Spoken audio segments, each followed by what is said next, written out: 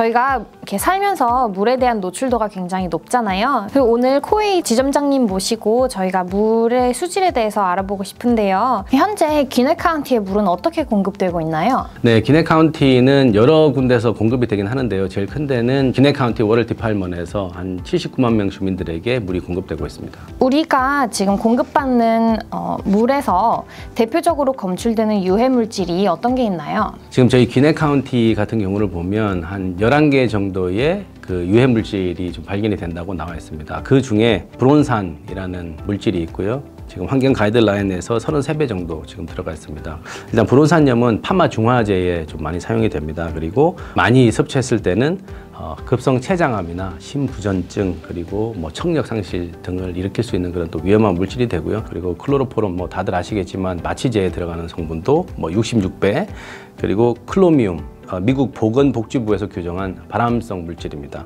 그래서 환경 오염도 되고 신장과 간 손상되고 이런 것들도 한 네 배 정도 또 들어가 있고요. 특히나 여기 그 아틀란타, 뭐 귀넷, 그리고 조지아하고 알라바마 쪽에서 크게 많이 발견되고 있는 물질은 트리할로메탄이라는 그 환경 오염 물질입니다. 트리할로메탄은 한 200배 이상 예, 건강 기준치 한 200배 이상 지금 발견되고 있거든요. 이제 이런 암을 일으키는 이런 물질들이 지금 현재 저희가 마시고 있는 어, 수돗물에 많이 포함되어 있기 때문에 꼭 정확하게 좀 걸러서 이렇게 예, 마셔야 될 것 같습니다. 안전하게. 그리고 현재 그 기네 카운티 외에도 여러 군데에서 물에서 검출되는 유해 성분이 되게 많았잖아요. 그런 거에 대해서도 조금 알려주세요. 네, 지금 어, 요즘에 아, 계속 뉴스에 접하게 되는 어, 보도를 보면 어, 텍사스의 아메바가 지금 나와가지고 예, 좀 문제가 되고 있고 조지아 쪽에서도 이콜라이가 지금 검출이 됐다고 해서 물을 꼭 끓여 먹으라 막 이렇게 하고 있는데 끓여 먹는다고 과연 안전한가에 대한 부분들도 계속 있고요. 그러면 이런 그 아메바나 뭐 이콜라이나 이런 중금속들을 걸러서 먹으려면 어떤 또 필터를 사용해야 되는지에 대한 그런 것도 좀 화제가 되고 있는 좀 상황입니다. 그럼 현재 코웨이에서 취급하는 물 필터는 어떤 종류가 있고 얼만큼 효율이 있는지 궁금해요. 네, 저희가 취급하는 필터는 일단 역삼 투압 필터라고 하고요. 이 필터는 크게 두 가지로 나뉩니다. 보통 직수와 역삼투압으로 나뉘는데 이게 물이 계속해서 나오는 거 있잖아요. 물의 용량이 계속 수돗물 같이 나오는 건 직수 형태라고 하고요.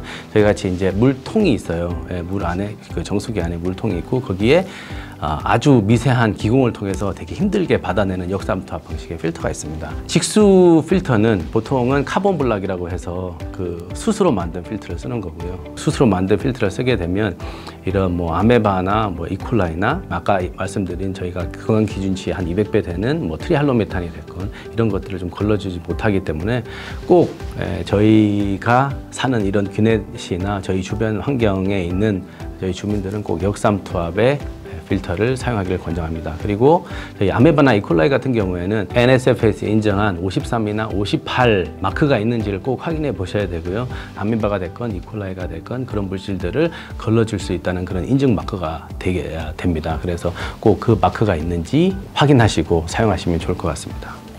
오늘 말씀 들어보니까 저희가 수질 관리에 대해서 조금 더 엄격하게 어, 신경을 써야 될 것 같아요. 오늘 좋은 정보 주셔서 감사합니다. 네, 감사합니다.